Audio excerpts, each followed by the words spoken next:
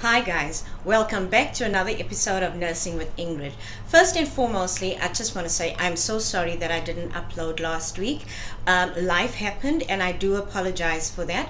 Secondly, I'd like to say thank you to all my subscribers, all my new subscribers. I just want to say welcome to the family. I absolutely appreciate you. I absolutely appreciate your subscriptions, your comments, as well as your likes. At this point, I also want to remind you, if you haven't subscribed, please do subscribe and please like the video and comment down below what you think, what you'd like me to address going forward. Today I'm going to be discussing uh, the pharmacy assistant as well as the dental assistant. Okay, these are two parts that you can also take within the healthcare environment without being a doctor or without being a nurse.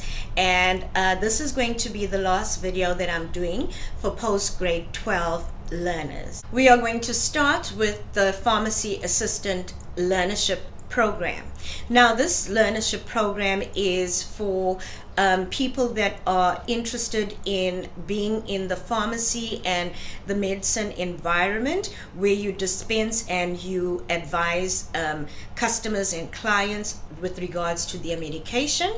And this is actually a two year learnership program that is hosted by Netcare, by Life Health Group, by Clicks by Dis-Chem, and the other there's a few other smaller um, pharmacy chains that do have the learnership program.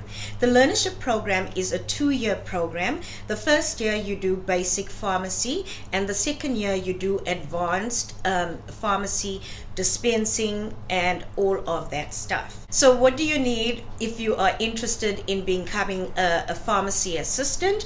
What you need is a grade 12 first and foremostly. You need to be a South African citizen. Secondly, and with your grade 12, you need to have mathematics, pure maths or maths lit, as well as English. And it will also depend on which province you are in. The predominant language that is spoken there, you need to be proficient in the local language within your province. Now, with the pharmacy assistant, you can be very um, stretched and pulled as well. It's very challenging, it's very exciting, and it is also very rewarding.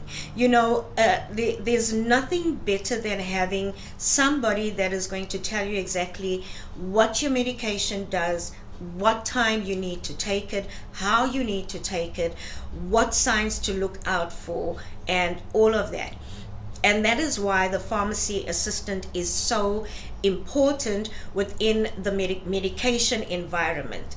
And once you've finished your pharmacy learnership, pharmacy assistant learnership, you are then part of the South African Pharmacy uh, Council, which governs and regulates your um, your your role and what you can do and what you can't do.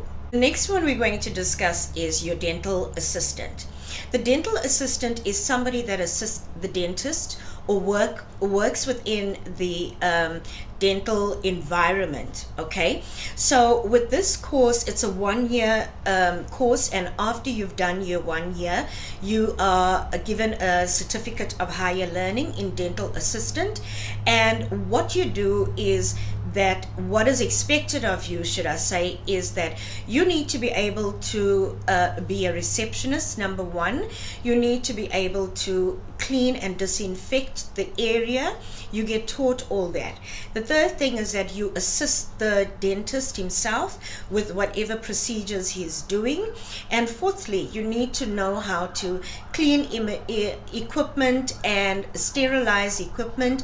And you need to be able to handle your um, x-rays and your x-ray machine as well.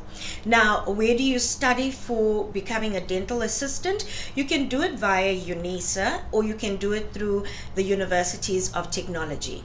It is a one year course and the salary is pretty good at the end of it. I mean, I've seen one of the adverts within KZN where I live and they're looking at somebody that can assist and the salary ranges between 11,000 to 24,000. So that is quite a lot of money. And it's a good um, salary to get as a dental assistant. And it's also very nice you know. And this is for somebody that is not grossed out by seeing rotten teeth or by seeing um, very bad mouth hygiene. And also as a dental assistant you are able to advise patients or clients on how to take care of their teeth. You also learn how to take impressions like um, yeah, if, if a patient needs to have dentures inserted or a, a, a, crown or a bridge, so you learn all that how to take an impression, how to handle the impression, and how to transport the impression to a dental technician.